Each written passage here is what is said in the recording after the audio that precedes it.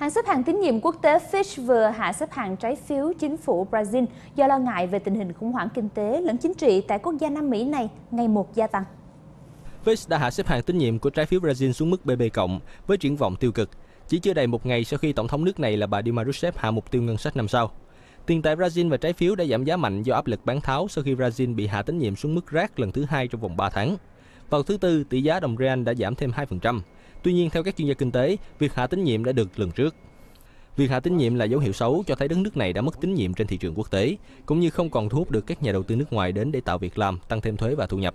Mặc dù vậy, thị trường đã đoán trước được động thái hạ tín nhiệm này. Nếu chuyện này không xảy ra thì đó mới là điều bất ngờ.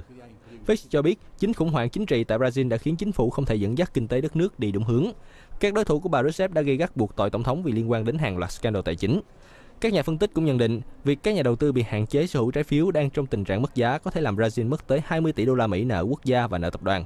Và thậm chí khả năng cao là Brazil có thể sẽ tiếp tục bị hạ tín nhiệm vào tương lai không xa. Các hãng xếp hạng quốc tế khác là Standard Poor's cũng đã hạ xếp hạng tín nhiệm của Brazil xuống mức rác vào tháng 9 và Moody's cũng đang xem xét khả năng hạ tín nhiệm của Brazil xuống mức tương đương. Việc hạ tín nhiệm liên tục sẽ làm gia tăng chi phí vay vốn của các tập đoàn và ngân hàng tại Brazil. Hiện tại thì quốc gia này chiếm gần 9% tổng nợ toàn cầu của riêng khu vực Mỹ Latin trong năm 2015.